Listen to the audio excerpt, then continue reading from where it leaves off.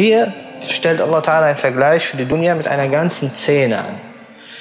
Und diese Zähne hat etwas mit dem Pflanzenwuchs zu tun. Er sagt, وَضْرِبْ لَهُمْ مَثَلًا مَثَلَ الْحَيَاةِ الدُّنْيَا كَمَا إِنْ أَنزَلْنَاهُ مِنَ السَّمَاءِ Und äh, präge für sie, präge ein Gleichnis des diesseitigen Lebens. Was ist das Gleichnis? Kama in Anzalna. Jetzt kommt das ganze Bild. Jetzt kommt ein Bild, eine Zähne. Äh, und diese Zähne, genauso ist das Leben auf der Welt. Er sagt, es ist wie das Wasser, das wir vom Himmel herabsenden.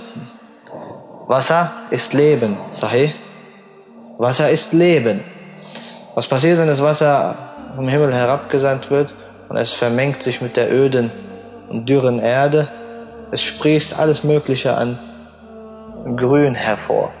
Die Erde wird äh, bekleidet mit einem herrlichen Grün und verschiedene Farben, Pflanzen sprießen hervor. Es kommt Leben. Was passiert dann?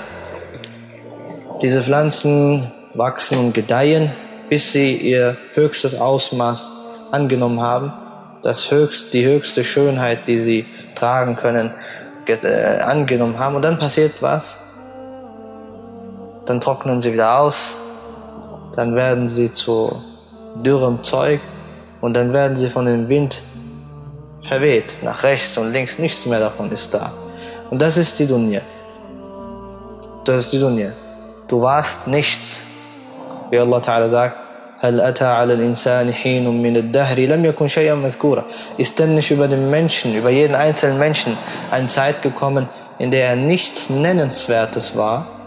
Nichts Nennenswertes. Du warst nicht. Du hast nicht existiert, dein Name hat nicht existiert, deine Person hat nicht existiert.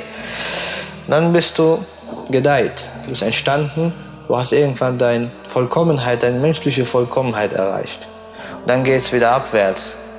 Dann wirst du geplagt von Krankheiten, altersbedingten Krankheiten. Wenn du nicht schon davor geplagt worden bist von weltlichen Schicksalsschlägen, Armut oder andere Dinge, dann wirst du schwächer und schwächer und dann bist du am Ende auch mit der Erde gleich. Verstaubst unter der Erde. Und dann ist deine Geschichte zu Ende. Und so ist die, das ist die Dunya. Das ist das Gleichnis der Dunya.